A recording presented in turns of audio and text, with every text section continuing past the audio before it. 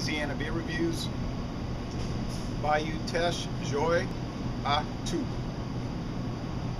Owned by Bayou Teche Brewing of Bayou Teche, Louisiana, and brewed for them by Lazy Magnolia Brewing Company of Kiln, Mississippi.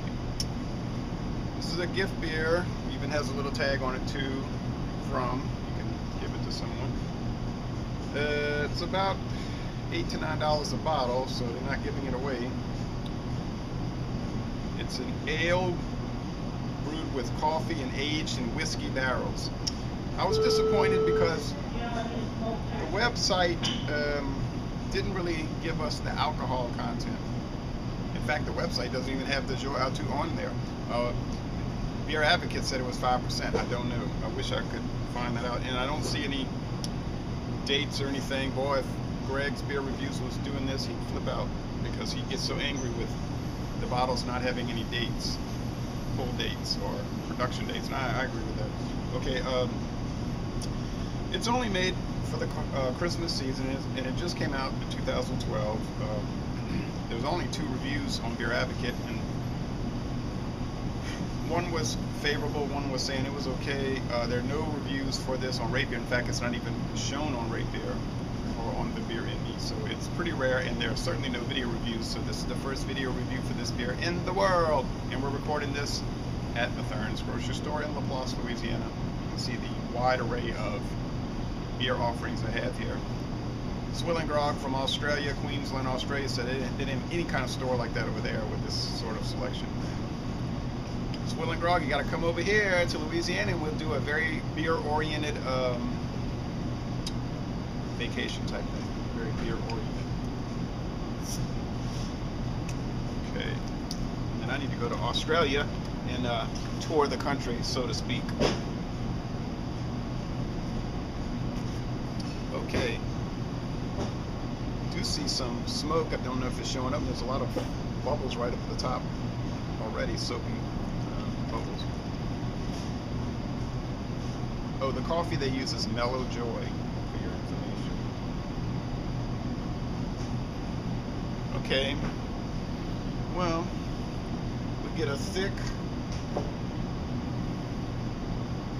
uh, cream colored head or eggshell, farm egg shell colored head. It's very soapy. The appearance is well, I'd say amber, and it's not the clearest beer in the world. Sort of hazy. I see a lot of screaming bubbles, though. Probably not showing up there, but I see lots of screaming bubbles. Let's go with the smell evaluation. That's a weird smell. You really can pick up this coffee, the, the ground or roasted coffee and you pick up the sweet barley malt and a little hop sting, and so it it smells like beer. It's with coffee. It's really what it smells like. I say medium roast coffee. It's not dark roast. Uh, well, smells good. Let's go with the flavor.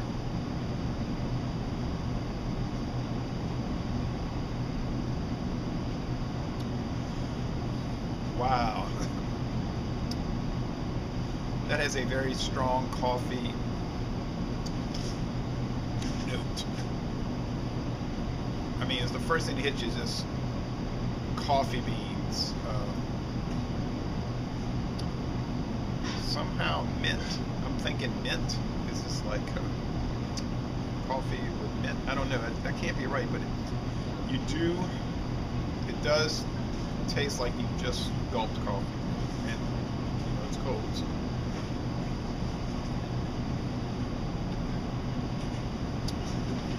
there's some sweetness and some background breadiness and a slight hop sting. And I'm thinking they must be right. Somehow, maybe Beer Advocate, someone there contacted the brewery and found out it's 5% because it doesn't really, you don't pick up any alcohol. It does have that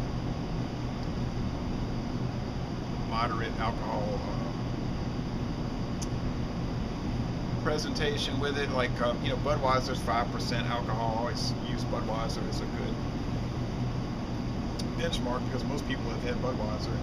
It's five percent, so you can relate to that. Um, little bit of lacing, not a whole lot. Little splotches of lacing, sort of a camouflage type lacing. The mouth feel it is really on the watery side. It's not. It's light to medium. Okay, it's not super light, but it's light to medium in the mouth feel. And the finish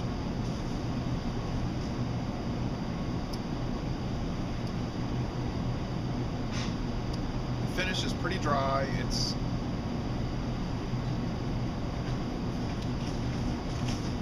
sort of crisp in a lager-like way, and um, could be coming from the coffee. And it's pretty drinkable. I'm not sure about the taste. Um, oh, I'll drink coffee every morning. I can assure you, but and I drink beer every day, not necessarily every morning. All right. Uh, oh, I'm.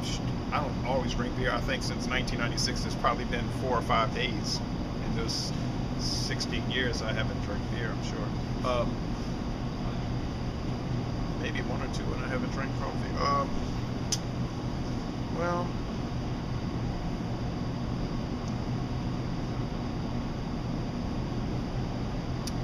Didn't really cloud up.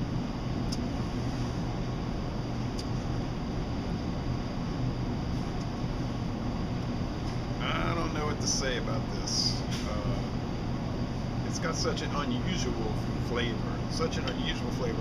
You sure can't accuse it of being dull. Um, and you've, you've, if you've watched enough of my videos, you know my opinion about flavored beer. I do have a general animosity towards flavored beer because my attitude is just uh, to the beer companies, just make good beer. You don't have to be gimmicky. But that's the that's the the time we live in here in in our world is. Uh, lots of gimmick beers, and a lot of cutesy names. Those two things get on my nerves. Um, but that's a result of this massive amount of competition. They're always trying to get an angle and get their foot in the door and get people's attention. But um, um, I'm gonna give it a B minus. It's good, sorta, but got a lot of carbonation. It's,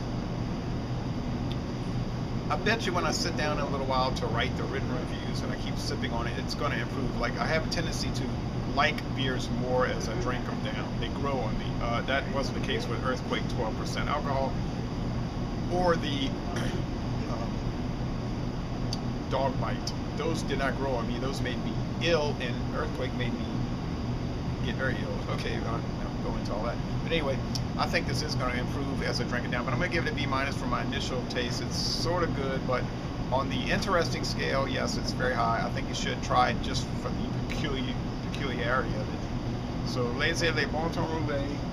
This is a good beer if you, if you want to go along with that. A sort of good beer. And I'm going to end this review by saying, y'all come on down to Matherne's and check out their huge selection.